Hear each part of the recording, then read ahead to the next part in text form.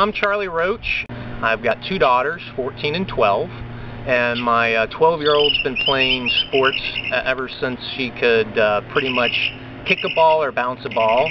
And my wife's been big into sports. She plays tennis mostly, but she snow skis, water skis, and uh, enjoys any type of sports activities as well.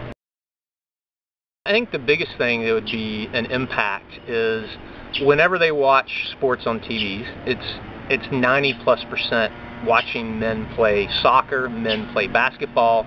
Uh, obviously, football is the major sport in the U.S. at this point in time. So nine months of the year, it's football on TV.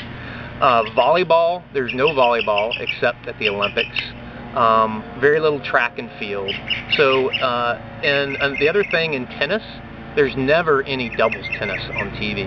And my wife being very much into tennis, women, almost 90% of what they play is doubles play. And men, I bet it's over 70%. So they rarely show doubles tennis on TV. So I think having a, a all-women sport network, it would show them, number one, my daughters, how, uh, how the different skill sets and what they can do as a woman versus the male sports are normally very differently played uh, as they go about, and, and the, sometimes that makes rules a little different. I think as we get more global and the women's sports from soccer to volleyball, uh, even to tennis, um, you start trying to find your niche that's not in the NFL, it's not in it's not in uh, football from college, and it's not in men's tennis or men's basketball. I think that's what you're going to bring to the party that's missing today. I actually do enjoy watching uh, uh, women's tennis and women's doubles. uh, I find it actually much more exciting than men's tennis. Men's tennis, it's serve, volley, end of point.